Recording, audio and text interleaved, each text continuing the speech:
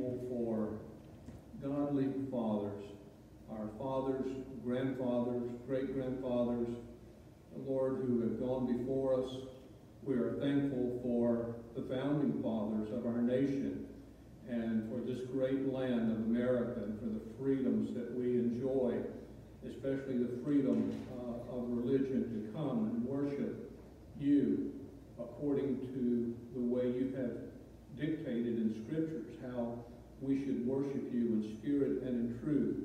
And so we come on this Lord's Day uh, to honor you, and certainly we like to honor our fathers as well. Uh, because the scripture says to give honor to those to whom honor is due. And help us as fathers that we indeed, as we've sung, might be true to you to the end, faithful in all things, faithful in our families, faithful in our walk with you. Father, we pray that your Holy Spirit would use your word as it goes forth, as we read it in a minute, and as uh, it's preached to us, uh, Lord, that your word would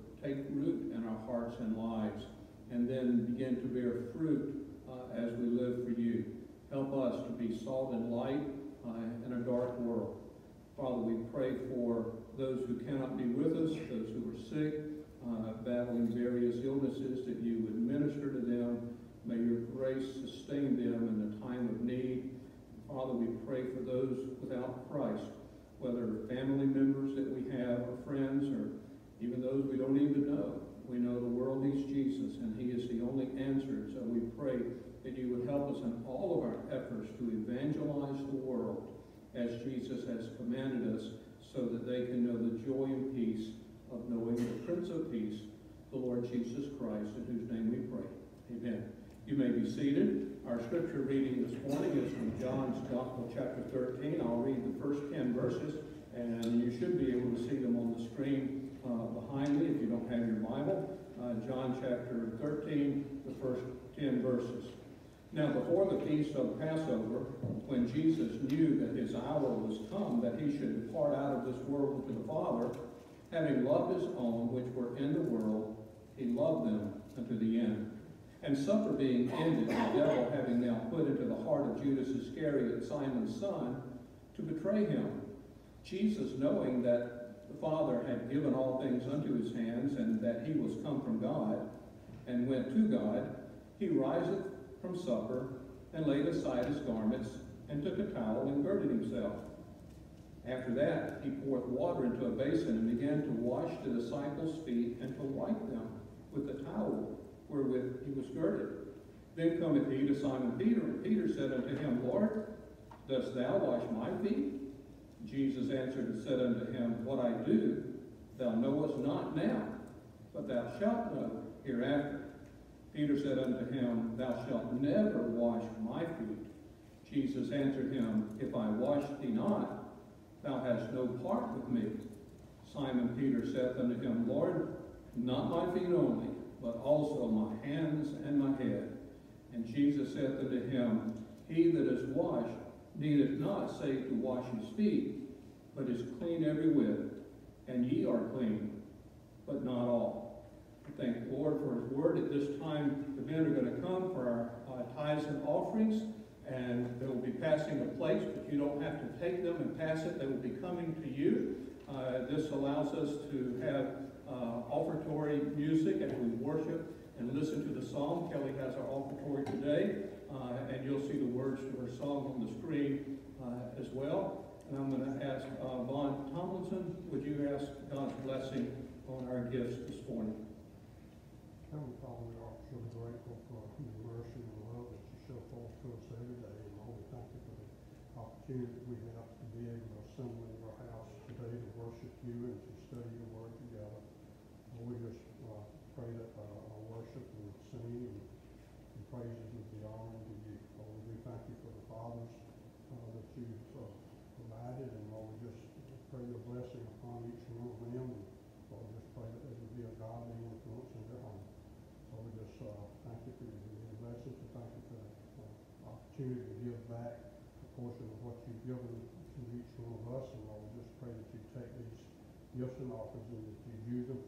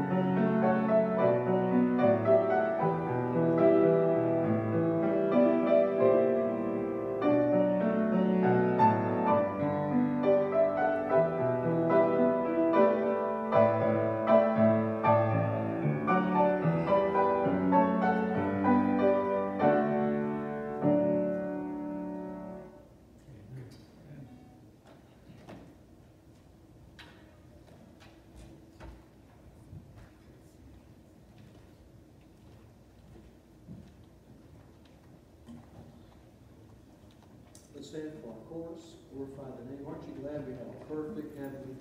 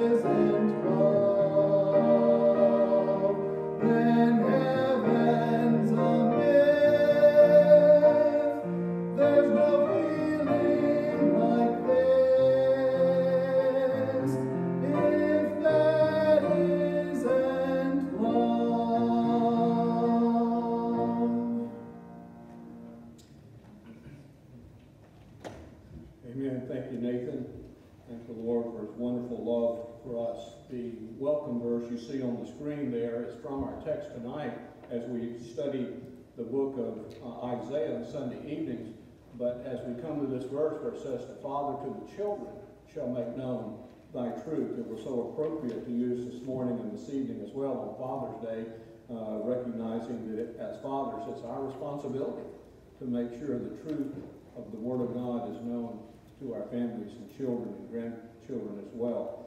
We come to John chapter 13 as we've been going through the book of John in our Sunday morning messages. and we're to that passage of Scripture, excuse me, where Jesus washed the disciples' feet there. And as we look at this this morning, we're going to see three simple things. We'll see, first of all, Christ's love, and I'm glad that we just had a song about that. Then we're going to look at Peter's lack, and then Christ's lessons from this story of washing the disciples' feet. First of all, as we look at Christ's love, it tells us that in verse 1, it says, When the feast of Passover uh, was over, when Jesus knew that his hour was come, that he should depart out of this world into the Father, having loved his own, which were in the world, he loved them unto the end there. And so he was getting ready to depart out of the world. He knew why he came into the world. He came into the world to go to the cross and die and save sinners for all the world, uh, sinners there. And his love brought him into the world, uh, and he was the lamb for the Passover. It talks about the Passover, before the feast of the Passover, he knew that he came to be the Lamb of God to be slain for the sins of the world. And yet, that was the motivation, uh, his love there. And so, as we look at the love of Christ and the love of God, uh, four things about his love in this passage. There are many, many more things about the love of God. But in this passage we're studying, we see, first of all, that his love is unchanging. It says, having loved his own, which were in the world, he loved them unto the end. And that's really what love is. A love that doesn't love all the way to the end might be infatuation or something else other than love. But God's love, the agape love of the Bible, is a love of commitment. It is not a feeling uh, there. It's not a mood that someone goes uh, through. It is indeed a uh, commitment. So in our society, when you hear people talking about, well, we just don't love each other anymore, uh, there, uh, well, they don't have that feeling towards each other anymore there because love doesn't end. Love is a commitment. And that's why in a marriage ceremony, there's this commitment of, I do, and the promise there. And Jesus had that love that was a committed love. It says he loved them unto the end. Was it always easy on Jesus? Of course, we know it wasn't. He was persecuted, he was crucified, and even though he was mistreated, he was abused, he was rejected, uh, he had the verbal assaults, the physical assaults. None of that stopped him from loving. His love cannot be quenched at all. It is unchanging there. And so I'm glad that his love is always the same. The book of Hebrews says that Jesus Christ is the same yesterday, today, and forever. And so his love never changes. And I mentioned it's also unquenched by evil. And we see that in verse 2 with Judas there. It says that Judas Iscariot, Simon's son, was to betray him. And Jesus loved Judas. He loved him in spite of his evil, in spite of the fact that he would betray him, because the love that God has for us is not dependent on us doing everything that he tells us to do and being obedient all the time. And if we do what's right, he'll love us. And if we don't do what's right, he won't love us. That's not the case at all. He loves us through it all. Now, he doesn't accept and approve everything we do, but he never stops loving us. And in Romans chapter 8, verses 38 and 39, listen as I read those two verses about the love of God.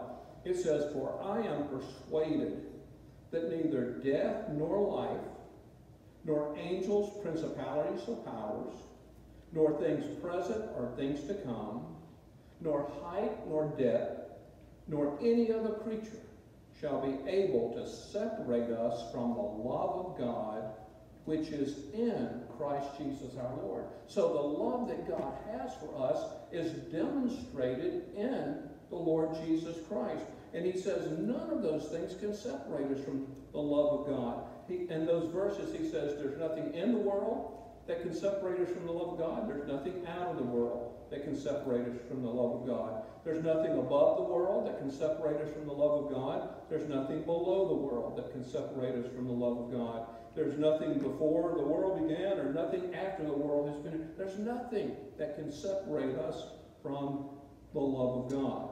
Now, that doesn't mean that God excuses sins because we're talking about Judas. God continued to love him. Jesus continued to love him. Even though he betrayed him, the love of God did not stop. Where's Judas today? Well, we know from the teaching of Scripture, when it says he went to his own place, uh, he is lost without Christ and he is in hell. So don't misunderstand, just because the love of God never changes and the love of God is unquenched, doesn't mean that because of the love of God, everybody's going to heaven. And so God loves us, but we must, by faith, receive him as Savior. If not, then we have rejected the love of God and must pay the consequences for our sins, even as Judas did. And so he loves us. There's nothing we can do to stop him from loving us, but we must receive his son. The love of God is in Christ Jesus. And it was demonstrated. Romans 5 8 said, God commended his love toward us, and that while we were yet sinners, Christ died for us. Well, not only is it unquenched, we see the love of God is unselfish. In verse 3, it says, Jesus, knowing that the Father had given all things into his hands and that he was come from God. He came from God. He was in heaven. We read about the glories of heaven and the splendor of heaven, and we try to imagine as best we can how wonderful it is, and we know it's going to be wonderful.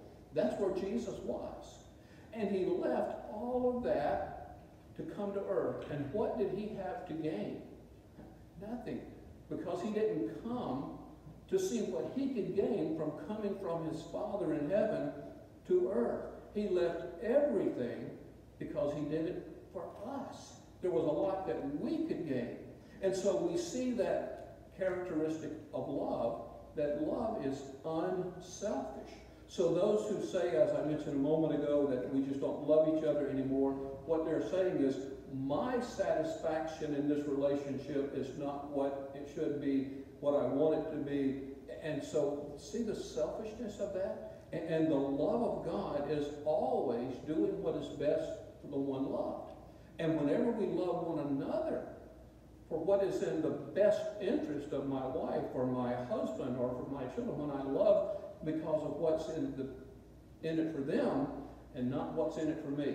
And that is a godly agape love. And that's the way Jesus loved. Having loved his own that were in the world, he loved them to the end. His love didn't change. His love wasn't quenched. His love was unselfish. And we also see another thing about his love. It was unprejudiced. In verses 4 and 5, it tells us that he rises from supper and he girds himself. Uh, there took a towel, and after he poured water into a basin, he began to wash the disciples' feet. Uh, all of them. He loved the disciples, every one of them. As I mentioned, even Judas. And here they were with different personalities. He loved Thomas. And what do we call him at times? Doubting Thomas. Uh, he loved Peter. We think about Peter denying the Lord. He loved Judas uh, there, who betrayed uh, the Lord. And so he loves everyone there. And he doesn't show favoritism or partiality. He is unprejudiced in his love. And we should be the same thing as well. Just because God loves everyone doesn't mean that he approves of everything that they do. And so, therefore, if we're going to love like God does, we must love everyone because God loves them and do what is in their best interest. And sometimes what is in their best interest, that's what love does, remember, means to tell them that you're wrong. If you don't accept Christ, you're going to die and go to hell. That's genuine love. It's warning them about the danger to come. Now, we might be criticized for it. That's why the Bible says we speak the truth uh, in love here. And so we see that Jesus loves everyone, and we see that the Lord of glory became the servant of man. And that's love, isn't it? Uh, he stooped down and began to wash the disciples' feet. Remember over in Luke chapter 22, Jesus goes into the home of a Pharisee, and his name was Simon. And while he was there, uh, uh, there was a woman who came in and began to wash his feet uh, there. And we also read in Luke about the story of the disciples. They were quarreling. Uh, in Luke chapter 22, verses 21 to 27, they were having this argument. Jesus was talking to them about his death. And while he was talking about dying, they were over here arguing about who's going to be the greatest. And so here they were discussing, I'm going to be the greatest, you're going to be the greatest. So they were ready to fight for a trophy, but they weren't ready to fight for a towel. And so here Jesus stoops down and he picks up the towel and he humbles himself and he begins to wash their feet. Well, let's look at Peter's life. We see beginning at verse 6. He comes to Simon Peter. He was getting ready to wash Peter's feet. And Peter said, Warren, you're going to wash my feet? Uh, and, and notice this lack, first of all, was a lack of initiative. Peter didn't offer to say, Lord, let me wash your feet uh, there. And so we must take initiative to serve the Lord. It's wonderful when people are willing to do whatever they're asked to do. Whenever your children are obedient and they do what you ask them to do, they're willing to obey. We're willing to do what God commands us. But there's something even better than that. When we tell our children to clean their room or clean up the kitchen and they do it, and we're glad. But what about those times when we don't even ask and we go by and they've done it without even asking? Well, that shows initiative, and there's a deeper appreciation in us as parents. Well, so it is uh, with God uh, there. And as I was telling about the Pharisee Simon earlier, what Jesus said to him when this Pharisee was there and saw the woman with the uh, ointment there, alabaster box of ointment, and wiping uh, Jesus' feet with her hair and her tears. And, and Jesus said to Simon there, I came into your house and, and you didn't wash my feet. I came into your house and you didn't greet me with the holy kiss or the custom of that day. I came into your house and, and you didn't anoint my head with oil. But here's this woman that she has done this uh, willingly. She has shown the initiative and done it. Well, Peter lacked in his initiative to serve the Lord at this particular time.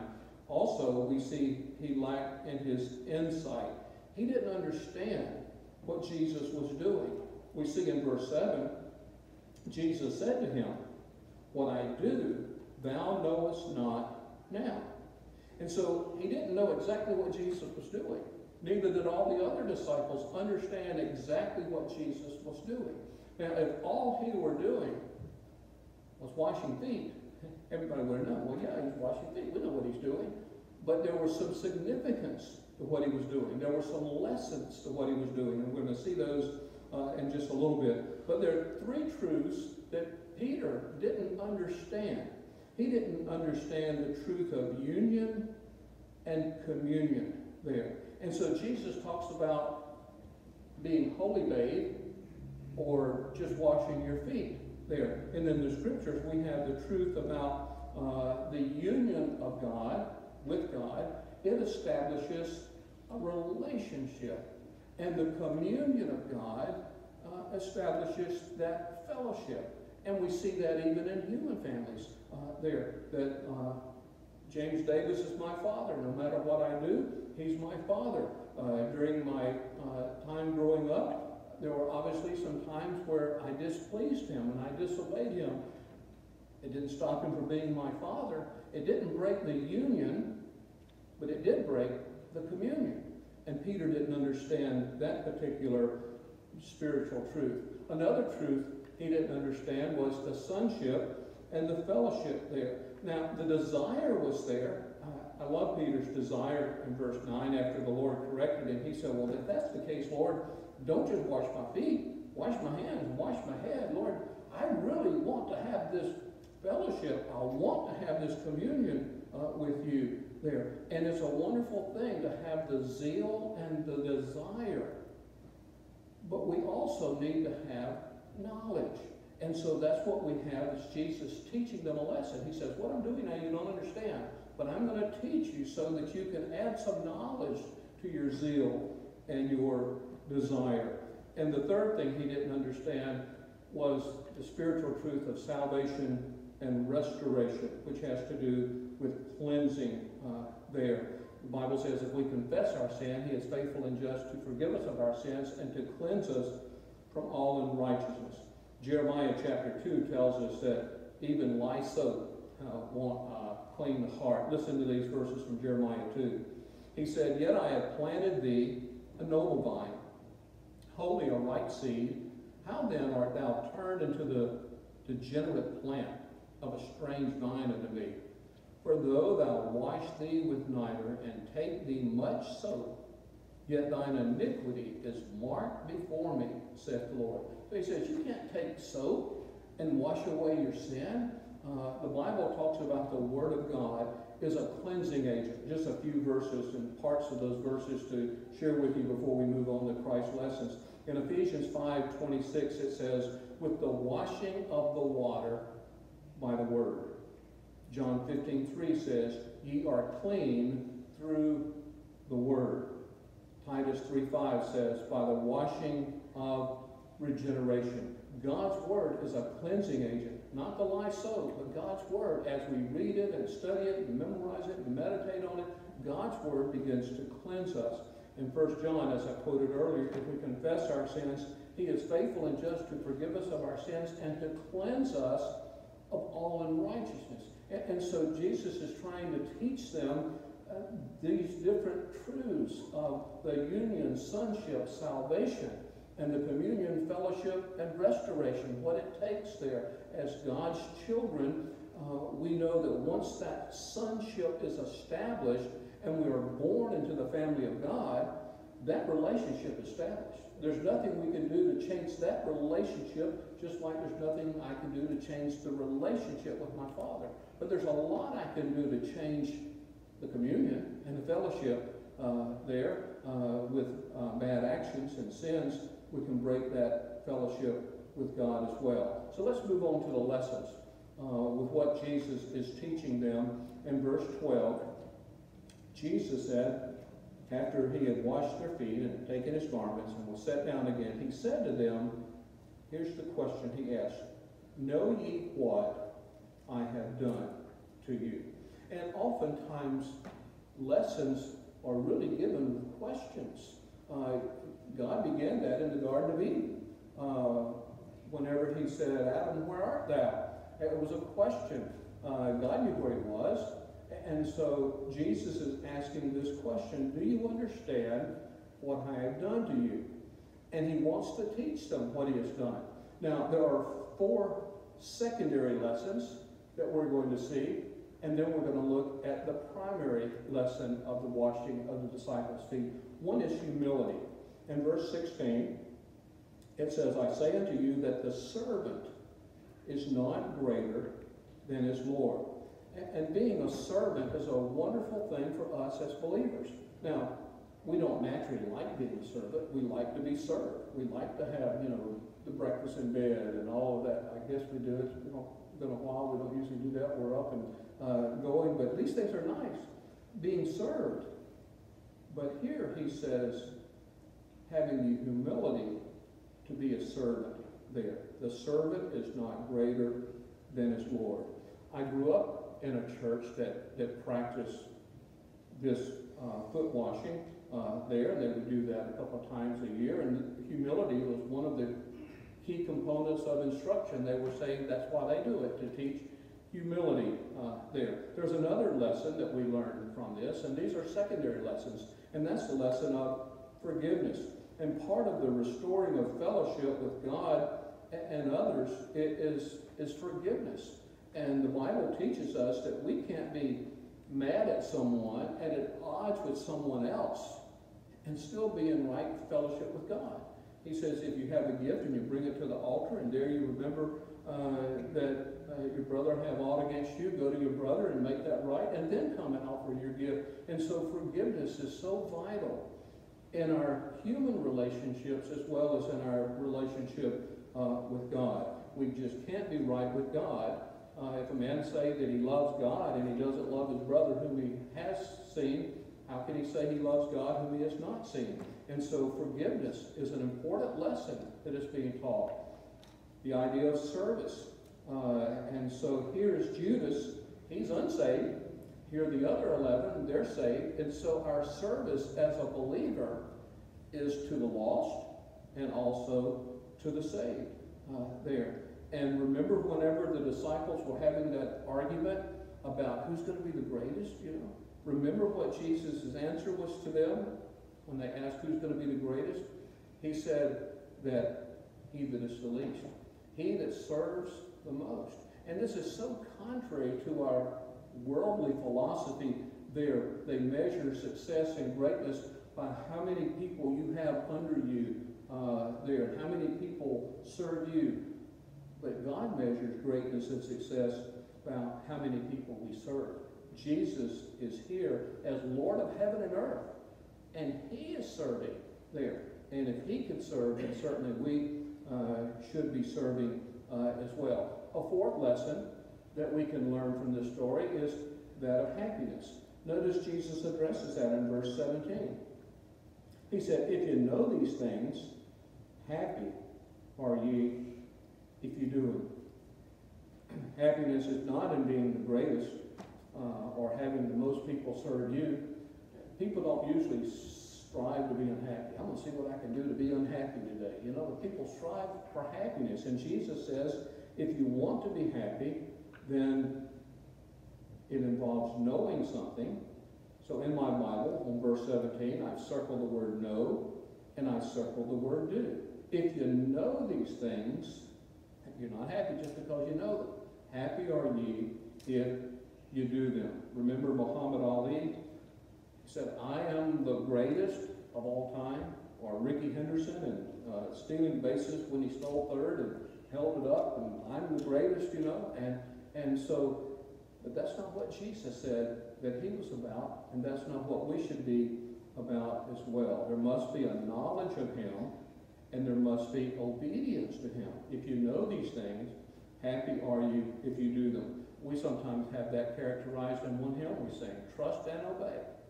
For there's no other way to be happy in Jesus but to trust and obey uh, there. Well, we come to the primary lesson uh, here that Jesus was teaching, and the lesson he was teaching them was that of daily cleansing there. In verse 13, he says, You call me Master and Lord. And you say, Well, for so I am. What's the difference in a master and a Lord? Well, the master is the teacher who is to be believed.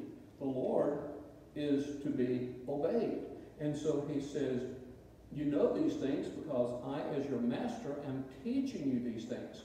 But you're going to be happy when you do them and you recognize me and obey me as your Lord uh, as well. And so he says in verse 14, If I then, your Lord and Master, have washed your feet, ye also ought to wash one another's feet. That word ought, when we use it sometimes, we kind of have the notion of that's a good idea. You, you ought to do that. But that's not what this word means. This word that's translated ought in our King James Bible, it means to owe someone, to be indebted, to have an obligation, to be bound to it, like we should be bound to our word uh, there. And so we have an obligation. We are indebted because God, the Lord of glory, left that glory. He came to earth. He humbled himself because he loved us with an unending love and died for us. And he came not to be served himself, but to be a servant uh, there. And so this idea of washing the feet is not a church ordinance. Notice in verse 15 what it says. I have given you an example that ye should do as I have done. Doesn't say do what I have done. Now, those who practice that in their churches, they can do that. It's not uh, a, a sinful thing, of course, and it's not a wrong thing to do. But for those who don't practice it, they haven't disobeyed Scripture either, because the Lord is not teaching us that we should have the literal washing of feet. For those who do it, they'll learn these lessons of humility and forgiveness and some of the other things uh, there. But Jesus says, What I have done to you, that do as I have done to you as well. And talks about the daily cleansing. As an example, think about the Old Testament, the furniture in the tabernacle. Whenever the, the priest would come and the people would bring their sacrifices, the first piece of furniture they would come to at the uh, tabernacle was called the brazen altar, the altar of brass. And, and that's where the animals were sacrificed and the blood was shed. And then before the priest would go to the tabernacle, uh, the tent that was there, there was another piece of furniture between the brazen altar and the tabernacle, and it was called the laver. We would think of laboratory uh, there. It was a basin with, with water for cleansing. And when the priest was finished at the altar, he could not go straight into the tabernacle, which was the presence of God. He first had to go to the laver uh, for washing of the hands and feet uh, there. And neither could he come and skip the brazen altar. He couldn't just go to the laver and then go. Because, see, there first had to be the brazen altar, which represents a person coming to Christ for salvation. And the laver represents the believer who's already been to the altar of salvation. They're coming to the laver for daily cleansing. They don't have to go all the way to the altar again of the cross. They go to the laver for daily cleansing. And so that is what God is teaching us uh, here as Jesus is washing uh, the feet. He's telling us that there are two needs among people. There's the need that Judas had. He needed to be wholly washed, but he died without it. And there are others who are already saved. They've been to the brazen altar, but there's some daily cleansing that they need in their lives.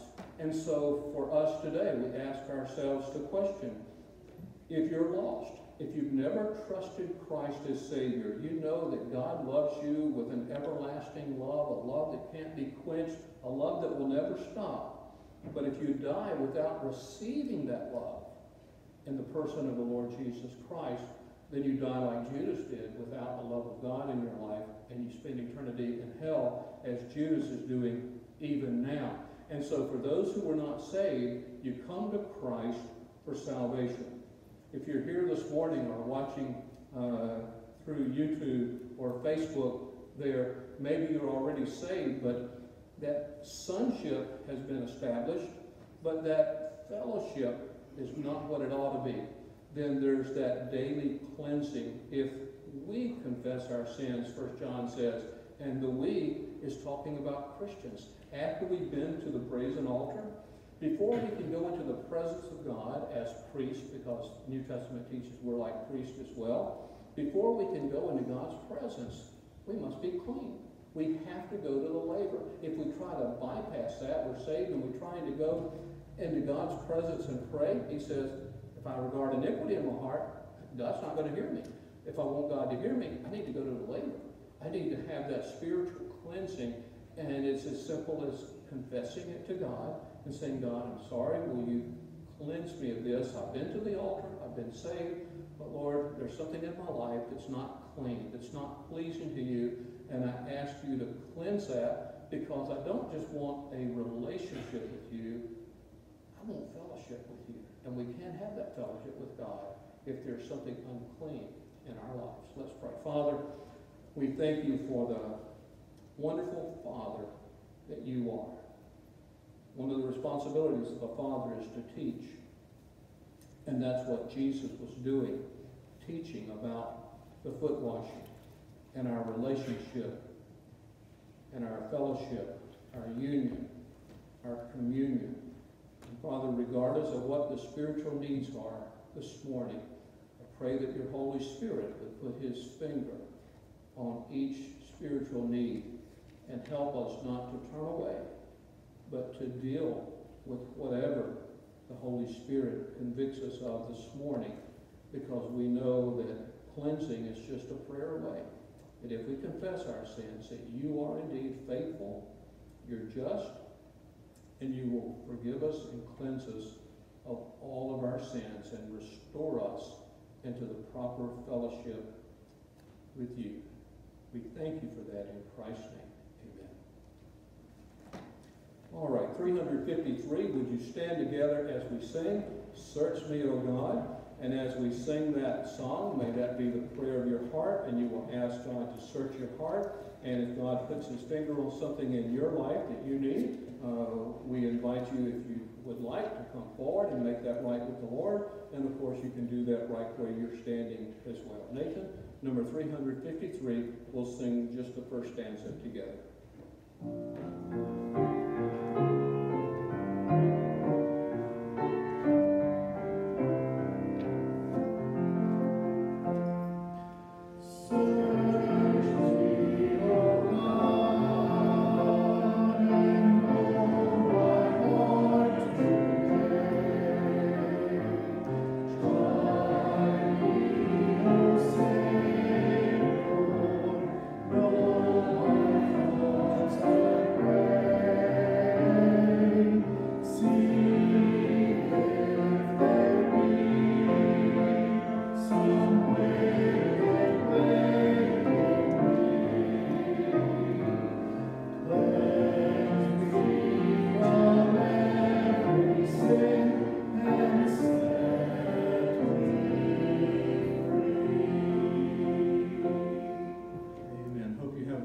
Afternoon and time together as family. And tonight at 6.30, we'll meet back. We're going through the book of Isaiah and hope you'll be back for our study in Isaiah tonight. I'll ask Nathan to come and dismiss us in prayer. Father, we thank you so much for the love that you showed us. And Father, all morning I've been thinking about the verse that God commended his love toward us, and that while we were yet sinners, Christ died for us. God, that's a love I just cannot fathom. I'm so grateful for it. And Father, help me to never lose the awe and the wonder of that truth. Father, we ask that you would help us to learn the lesson from today's uh, message. Father, as we learn from Peter and his lack, and his understanding, Father, I pray that we would learn those lessons and that we would learn to love you with our actions and our words and our thoughts and everything that we do, Father. Father, I pray that we would share that love with others, that we would be indiscriminate with everybody that we come across, that we would share the gospel, the truth of your love with everybody. Father, we ask that you would be magnified and glorified in our lives. In your son's we pray. Amen. Amen.